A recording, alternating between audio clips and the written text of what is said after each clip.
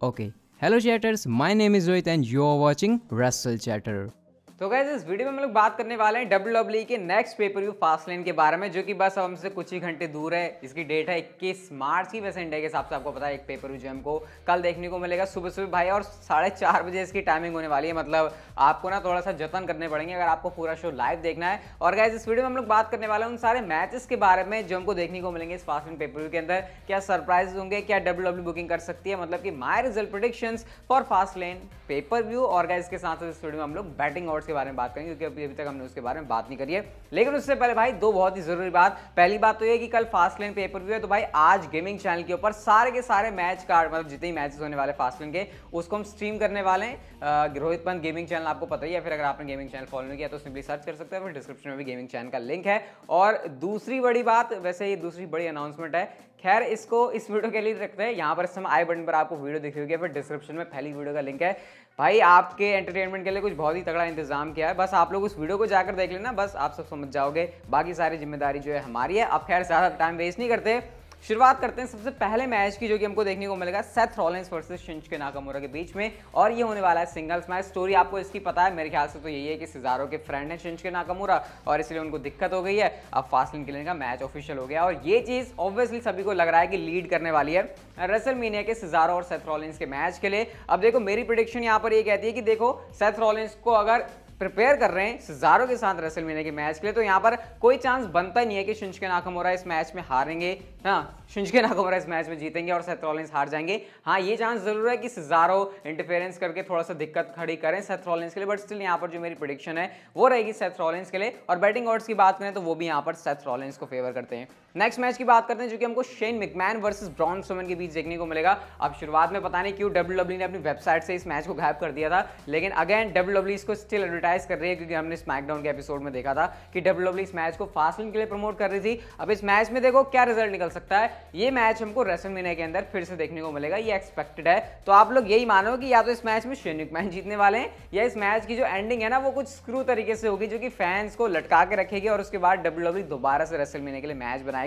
अब यहाँ पर कुछ भी हो सकता है, लेकिन फिर भी मुझे लग रहा है कि ब्राउन स्टोमन को और ज़्यादा चिड़ाने के लिए हो सकता है इस मैच में शेन मिकमैन जीत जाए। तो यहाँ पर जो मेरी प्रिडिक्शन है, वो शेन मिकमैन के लिए रहेगी। हालाँकि अगर हम बैटिंग ऑर्ड्स की बात करें तो अंतर यहाँ पर ज़्यादा नहीं है, बहुत ही स्लाइट वे में शेन मिकमैन यहाँ पर फेवरेट है इस मैच को जीतने के लिए। बट फिर भी इस मैच में ऐसा भी हो सकता है कि नो कॉन्टेस्ट वगैरह कुछ हो जाए और हमको रेसल मिलने के लिए फिर से लटका दिया जाए। नेक्स्ट मैच आता है guys women's tag team championship के लिए Nia Jackson Shayna Baszler versus Sasha Banks and Bianca Belair इस मैच के बारे में मुझे नहीं लगता ज़्यादा बात करने का कुछ फ़ायदा है.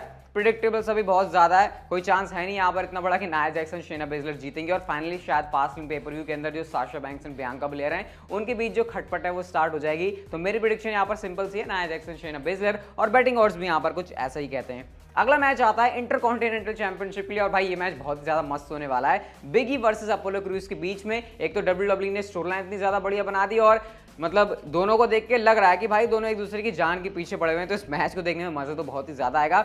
मैं अपनी प्रोडिक्शन की बात करूँ तो देखो रेसर मीनिया से ठीक पहले फास्ट एंड पेपर व्यू के अंदर टाइटल चेंज होगा, इसके चांसेस कम है, क्योंकि अगर अपोलो क्रूज को चैंपियन बनाना है तो क्यों ना भाई grandest stage of them all में बनाया जाए। तो इसलिए यहाँ पर जो मेरी प्रिडिक्शन है, वो बिगी के लिए रहेगी कि यहाँ पर वो अपनी इंटरकॉन्टिनेंटल चैंपियनशिप को सक्सेसफुली डिफेंड कर सकते हैं। और बाकी बैटिंग ऑर्ड्स की बात करें तो वो भी बिगी को इस मैच में फेवर करते हैं। नेक्स्ट मैच आता है यूनाइटेड स्टेट्स चैंपियनशिप के लिए, मुस्तफ़ा अली वर्सेज रिडल के बीच में और हम देख ही रहे हैं कि कैसे मुस्तफ़ा अली कोशिशें बहुत ज़्यादा कर रहे हैं उनका ग्रुप जो है। उनको भी पता है कि फीका पड़ रहा है, वो कुछ करें इसके साथ, अपने आप को फिर से वो रिवाइव करें। तो इसलिए यहाँ पर अली के लिए मैच बहुत ही ज़्यादा इंपॉर्टेंट होने वाला है। लेकिन अगर यहाँ पर वही कहानी आ जाती है कि ये जो मैच है वो फास्ट लेन पेपर व्यू के अंदर हो रहा है, जो कि रेसलमेनिया से ठीक पहले अब क्या डब्ल्यू डब्ल्यू इस वाले पेपर व्यू के अंदर टाइटल चेंजेस करना प्रेफर करेगी? इसके चांसेस यूजुअली कम होते हैं, ऐसा मैं नहीं कह रहा कि नहीं हो सकता, लेकिन यूजुअली कम होते हैं। तो इसलिए यहाँ पर अगर मेरी जो प्रोडिक्शन है वो रहेगी रिडल के लिए कि वो चैंपियन बनकर तो एटलीस्ट इस मैच से बाहर ही निकलेंगे मतलब शायद यहाँ पर कोई टाइटल चेंज होगा, लेकिन डब्ल्यू डब्ल्यू सरप्राइज़ करते तो वो अच्छी बात होगी। और बैटिंग ऑर्ड्स की बात करें तो उनका भी यहाँ पर कुछ ऐसा ही कहना है।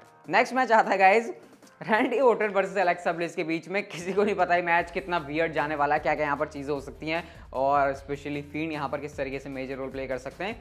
फ़ील्ड नहीं आते तो भाई यहाँ पर सभी के जो चेहरे हैं वो बहुत ज़्यादा लटक जाएँगे। अगर मैं इस मैच की प्रिडिक्शन की बात करूँ तो देखो, इस मैच को ना प्रिडिक्ट नहीं कर सकते मतलब कुछ भी हो सकता है इस मैच में हो सकता है, कुछ कुछ होके रैंडी होटन जीत जाए, फिर कुछ करके एलेक्सा ब्लिस जीत जाए। ये मतलब इस मैच के रिज़ल्ट से असर पड़ता नहीं है कुल मिला के, असर पड़ता है फ़ील्ड के आने से। तो यहाँ पर भाई, मैं तो बिल्कुल तुक्का सा ही लगाऊँगा। मैं प्रिडिक्ट करूँगा यहाँ पर कि एलेक्सा ब्लेस इस मैच को जीत जाएँगी। मुझे पता है यहाँ पर रैंडी ओटन का नाम भी लिया जा सकता है। लेकिन अगर हम बैटिंग ऑर्ड्स की बात करें तो गाइज़ यहाँ पर बैटिंग ऑर्ड्स एग्जैक्टली सेम है। यानी कि जितना चांस रैंडी ओटन का इस मैच में जीतने का है, उतना ही चांस अलेक्सा ब्लिस के जीतने का भी है। बाकी आप लोग मुझे कमेंट करके बताना कि आपको क्या लगता है इस मैच के अंदर कि अलेक्सा ब्लिस जीतेंगे या फिर जीतेंगे रैंडी ओटन अगला मैच आता है ड्रू मैकेंटायर वर्सेस शेमस के बीच में, और ये होने वाला है एक स्टिपुलेशन के साथ नो होल्ड्स बार्ड मैच अब इस मैच को बस आपको इसी तरीके से समझ सकते हो कि इस मैच के अंदर आपको ब्रूटैलिटी देखने को मिलेगी। स्टिपुलेशन डब्ल्यू डब्ल्यू ने डाल दिया। तो यहाँ पर, क्योंकि ऑलरेडी रॉ के एपिसोड में हम लोग इनके मैचेस तो देख ही चुके हैं, जहाँ पर दोनों एक दूसरे का बहुत उतारने में बिल्कुल भी पीछे नहीं हटते तो यहाँ पर स्टिपुलेशन डालनी थी। लेकिन यहाँ पर जो मेरे को सीन लगता है कि बॉबी लेस्ली के इंटरफेरेंस के बिना ये शायद मैच पूरा नहीं हो सकता, क्योंकि अगर यहाँ से जो बंदा ड्रू मैकेंटायर है, वो रसलमीना के अंदर बॉबी लेस्ली को चैलेंज कर रहा है तो क्या पता यहाँ पर ये भी हो सकता है ये बहुत ही डब्ल्यू डब्ल्यू का वैसे स्टूपिड डिसीज़न हो सकता है कि ड्रू मैकेंटायर इस मैच को हार जाए बॉबी लेस्ली की वजह से, क्योंकि फिर उससे उनका मोमेंटम पूरा टूट जाएगा। लेकिन फिर मेरे को लगता नहीं कि अगर कोई बंदा रसल मीना के मेन इवेंट में जा रहा था, उसको फास्ट एंड पेपर व्यू के अंदर हराना सही रहेगा। शायद बॉबी लेस्ली यहाँ पर चुल तो बहुत ज़्यादा करेंगे, लेकिन किसी तरीके से ड्रू मैकेंटायर जो है ऑर्ड्स के अगेंस्ट जाएँगे और इस मैच के अंदर ड्रू मैकेंटायर फ़ेमस को हरा देंगे। यहाँ पर कुछ लोगों की एक्सपेक्टेशन है इंक्लूडिंग थोड़ा सा रोहित, मैं भी वैसे इतनी ज़्यादा नहीं है कि ब्रॉक लेसनर क्या पता यहाँ पर आ जाए। देखो, मैं आपसे कहूँगा कि एक्सपेक्टेशन कोई मत रखो पेपर भी हो जाने दो। आ गए तो बल्ले बल्ले, नहीं आए तो भाई घर जाओ अपने आराम से, सो मज़े करो। जो भी है तो बाकी अगर इस मैच में प्रिडिक्ट करने की बात है तो मैं प्रिडिक्ट करूँगा ड्रू मैकेंटायर को। और बैटिंग ऑर्ड्स की बात करें तो वहाँ पर, यहाँ पर वो भी ड्रू मैकेंटायर को फेवर करते हैं। और जो बैटिंग ऑर्ड्स का डिफरेंस है, वो भी काफ़ी हद तक ज़्यादा है। अब बात करते हैं गाइज़ हम लोग यूनिवर्सल चैंपियनशिप के मैच की, जो कि होने वाला है Roman Reigns versus Daniel Bryan के बीच में। और इतना नहीं, यहाँ पर स्पेशल गेस्ट इन्फोर्सर होने वाले हमारे एज पॉसिबल रेसलमीनिया 37 का एक मेन इवेंट मैच जो कि हो सकता है एक ट्रिपल थर्ड मैच शायद फासलिन की बात हमको एक कहानी पता लग सकती है। अब देखो, बहुत हद तक ये मैच प्रिडिक्टेबल है मतलब हम कह सकते हैं कि प्रिडिक्टेबल है। क्यों इसके पीछे रीजन है? इसके पीछे रीजन ये है कि रोमन रेंस को ही डब्ल्यू e के प्लान है कि वो रेसल में थर्टी में यूनिवर्सल चैंपियन बनकर जाएँ। उसके बाद भले वो टाइटल हारें, लेकिन उससे पहले हारने का उनका जो चांस है वो काफ़ी कम है। तो ये मेरे ख्याल से एक प्रिडिक्टेबल मैच ज़रूर है, लेकिन फिर भी यहाँ पर एज के होने की वजह से हो सकता है कुछ अलग सिनेरियो बन जाए। बहुत ही बहुत ही बहुत ही कम चांस है कि रोमन रेंस टाइटल हारेंगे। मतलब मेरी नज़रों में तो ऐसा नहीं होने वाला। डब्ल्यू डब्ल्यू e कोई बहुत बड़ा शॉक कर दे।